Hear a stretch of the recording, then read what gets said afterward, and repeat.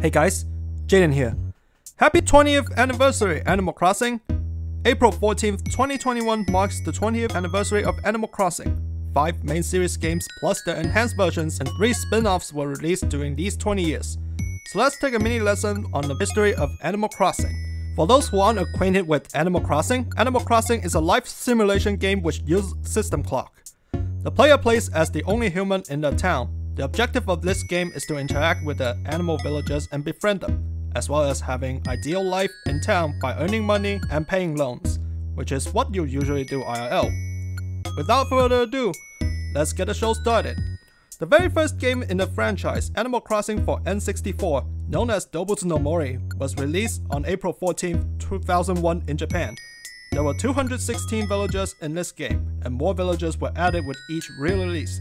As of March 2021, only 63 of those 216 villagers appear in every Animal Crossing game to date.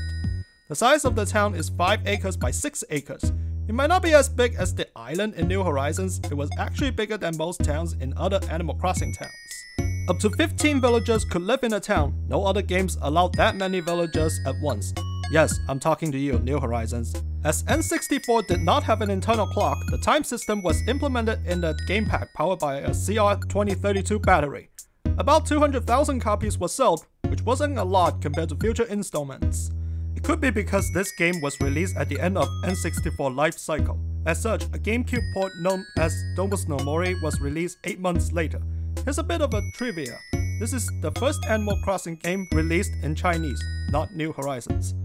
Animal Crossing, population growing for Nintendo GameCube, which is an enhanced port of the original game, was released worldwide from 2001 to 2004, depending on the region. And no, I did not make up the subtitle. It was originally called Animal Forest for Nintendo GameCube, which was the literal translation of Dobutsu no Mori. 20 new villagers were introduced in addition to the 216 villagers in Animal Crossing N64. To satisfy the players around the world, some Japanese themed holidays were removed or replaced by regional holidays. Most of the features in Animal Crossing N64 were also in this game. This version of Animal Crossing featured e-reader functionality. By scanning different e-reader cards, you could get various rewards. And that was not the best of this game. You could play certain NES games in this game with the GBA connectivity. This might just be the best thing ever at that time. Over 2 million copies were sold worldwide, which is significantly better than Animal Crossing N64. As a result, another enhanced version, Animal Crossing E Plus for Nintendo GameCube, was released exclusively in Japan on June 27, 2003. There were 84 new villagers in this version, bringing the total number of villagers to 320. Most of the new villagers can be invited by scanning e-reader cards of said villagers. From this game onwards, villagers can be befriended and each villager has their own preferences. About 386,000 copies were sold, better than Animal Crossing N64 at least. Animal Crossing Wild World for Nintendo DS was released in late 2005. This was the first game to feature online multiplayer via Nintendo Wi-Fi connection, although this service was discontinued in May 2014. Wild World has the smallest town in the series, only 4 acres across by 4 acres down, and only 8 villagers could live in one town. Despite this, many facilities were added to this game, such as Town Hall, Observatory, and more. And of course, how could I forget the Roost? That one facility that everyone and their mothers are craving for. 18 new villagers were introduced, 6 of them were monkeys, which was a new species in this game. Although monkey villagers were only available via online distribution and can no longer be obtained legitimately by net, even though 18 new villagers were introduced, 188 out of 320 villagers in E Plus were removed in this game, bringing the total number of villagers down to 150, the fewest out of any game. Although this game introduces new events, most, if not all, of the events from the previous game were removed. From this game onwards, players can customize the interior of villager houses by gifting them furniture, wallpaper, and clothing. Villager photos were introduced in this game as rewards for having very high friendship with villagers. 11.75 million copies were sold, which is much higher than all three versions of Animal Crossing combined. Animal Crossing City Folk for Nintendo Wii was released in November 2008. All 150 villagers in Wild World returned in this game, along with 18 new villagers and 42 previously removed villagers. WiiConnect 24 allowed players to connect this game to the internet for benefits, though this feature is no longer possible. This game allows safe data transfer from Wild World. Game reviewers receive a demo copy of Wild World to test this, and a certain sheep villager may or may not be called racist. We probably need to address this, but there's a time and place for everything. But anyway, this game introduced the city where shops like the Auction House, Crazy Redd, and Crazy Grace were accessible. Former and current villagers could sometimes show up in the city. The town size is 5 acres across by 5 acres down, and has a maximum of 10 villagers living at once. Another fact, Animal City, one of the secret KK songs in New Horizons, is based on this city. Many events absent in Wild World make a return in this game. Villager behaviors are more or less the same as Wild World, but this game lacks villager photos, which is kind of a bummer in my opinion. The sale number of City Folk wasn't great either, only at 3.38 million. Animal Crossing New Leaf for Nintendo 3DS, which featured the debut of Isabelle, was released in late 2012 in Japan and 2013 elsewhere. This game introduces two new species, deer and hamster, as well as two new personalities, Smug and Sisterly. As such, 100 brand new villagers, including many fan favorites like Marshall, made their debut in this game. This game introduces the most new villagers out of any game, with the return of 24 removed villagers and the removal of one villager in City Folk. The total number of villagers was increased to 333, even more than Animal Crossing E+. The town size is slightly smaller than City Folk Town, and it can have up to 9 villagers, plus one campsite visitor. In this game, the first player to arrive in a town becomes the mayor of the town. This is the first game that lets the player become the mayor. As Tortimer is no longer the mayor, he hosts the Tortimer Island, where you can participate in certain activities. Main Street is introduced in New Leaf, and it basically functions the same way as the city in City Folk. Everyday facilities such as Timmy and Tommy's shop and Nook's homes are located on Main Street. Just like the city, both current and former villagers can show up on Main Street. Various changes are made regarding the villagers. Each personality has their own animalese voice, villagers are capable of doing various things, such as fishing and entering buildings. Villager photos made a return in this game. From this game onwards, you cannot change villagers' wallpaper and flooring. We'll talk about sale numbers later, as this game received a major update in 2016. Animal Crossing Happy Home Designer for Nintendo 3DS was released in mid-2015. This is the first spin-off game in the series, as well as the first game to feature the use of Amiibo. As this is a spin-off game, you do not live in a town or bond with villagers. Instead, you work at Nook's homes to help decorate villagers' houses. Eventually, you are able to decorate various facilities as well. All 333 villagers in New Leaf are in this game, plus one additional villager and 5 distribution-only villagers. Unfortunately, this game was criticized for its lack of challenge, and it only supported Series 1 through 4 amiibo cards. There were never updates to this game besides the launch update. This means that Welcome Amiibo Amiibo cards and Crossover Amiibo cards cannot be used in this game. About 3 million copies were sold, which is alright I guess.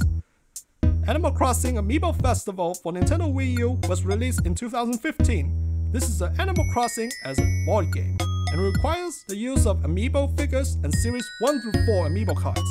But here is the thing, it is the worst selling game in the series, this game is criticized for its uninteresting gameplay and the amiibo system isn't well implemented. And you can't play this game without amiibo, even though this game is bundled with some amiibo figures and cards.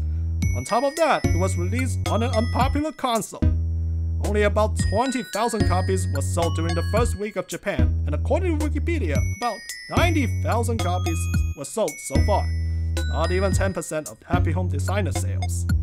This game is not available digitally, the only other physical copy game that comes to mind is Ring Fit Adventure, which is a good game that I keep forgetting to buy.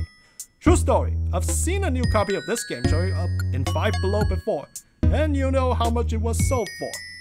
2015 is not a good year for Animal Crossing, is it? So rather than releasing a new Animal Crossing game on Wii U, a major update of Animal Crossing New Leaf, known as Welcome Amiibo, was introduced in November 2016 Players that already had New Leaf could just simply update the game, while the physical version of Welcome Amiibo was available later. The Japanese and European versions included one Amiibo card in each physical copy. With 50 villagers from Welcome Amiibo series, 14 crossover villagers, and 2 promotion-only villagers. This game has 399 villagers, the most out of any game. Although New Horizons could easily beat the record since there are already 397 villagers right now. This update allows players to scan amiibo to get various items, or even inviting the villagers to live in town. It also introduces two new minigames, Animal Crossing Puzzle League and Desert Island Escape. Some quality of life changes were made to the update. For example, villager plots cannot be placed on custom paths, and villagers cannot get sick. Including the base game, 12.82 million copies are sold, and it beats Wild World as the best-selling game in the series at that time. Is handheld Animal Crossing game a way to go? Animal Crossing Pocket Camp for iOS and Android was released in November 2017. This game is co-developed by DeNA and ND Cube. It was planned to release in March 2017 but was delayed many times. This free-to-play game originally had 40 villagers at the start and now has 247 villagers after nearly three and a half years. This game introduces crafting as a way to get items using crafting materials. Crafting materials can be obtained by befriending villagers. Some of these crafted furniture are required to invite villagers to the campsite. Think of it as an adventure game because level system is a thing in this game. Villagers that appear at higher levels as well as special villagers usually take longer to invite. There can be up to 8 villagers in a campsite and players can invite or say goodbye to their villagers anytime, provided that they fulfill the requirements. Players can also decorate the campsite, cabin, and camper with furniture, also, loan is a thing in this game with camper expansions. As this is a free-to-play game, this game offers in-app purchases, such as additional Leaf tickets and Pocket Camp Club subscription. As of April 2020, this game has grossed over $150 million. The latest entry of the series, as well as the best-selling game in the series, Doom Crossing Eternal Horizons. Wait, that doesn't sound right. Animal Crossing New Horizons for Nintendo Switch was released on March 20th, 2020 worldwide. All 333 Series 1 through 4 villagers and all 50 Welcome Amiibo villagers return in this game, along with 8 brand new villagers. New Horizons has the most villagers at launch at 391, and version 1.9 reintroduces 6 Sanrio villagers, bringing the total number of villagers to 397. This game takes place on a deserted island instead of a partially established town, and your job is to make this island your dream island. There are more differences between this game and other Animal Crossing games that you can count. I'm not going to list every single one of them. The changes are as follows. While the first game to feature crafting or outdoor furniture placement, New Horizons is the first game in the main series to feature both. This is the first game with fully customizable character, and is no longer determined by the series of questions. For the first time ever, up to 8 players can live on a single island, and up to 4 players can play on the same screen. Also, for the first time ever, events added via updates are time locked and can only be unlocked by connecting to the internet at the right time. Many changes were made regarding the villagers. They look more detailed in this game and have different voice pitches based on size. They can also wear sleep outfits, and sheep in particular can actually wear shirts and dresses. And more importantly, villagers cannot move out without permission, and the restriction on villager invites is minimal. Once you have 6 villagers, that is. All special characters have their own voices as well, and the list of changes keeps going on and on and on. As this game was released during the COVID-19 pandemic, many people picked this game up so they have something to spend time at home, or to do things that they couldn't do in real life, such as marriage and graduation ceremony. And as such, this game was sold in 31.18 million copies as of December 2020, more than double the sale of New Leaf. In fact, New Horizons is the second best-selling game for the Nintendo Switch, only behind Mario Kart 8 Deluxe, but not very far behind. So popular, it was nominated for Game of the Year 2020. Although it did not win the award, it still got several rewards such as Best Family Game. There you have it, every Animal Crossing game released during these 20 years there might be some error that I may not know about, but if you find this useful, be sure to like and share the video and subscribe to my channel.